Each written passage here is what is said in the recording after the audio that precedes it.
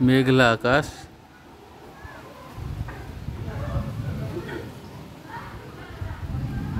বৃষ্টি হওয়ার সম্ভাবনা আছে। মেঘ দেখছে।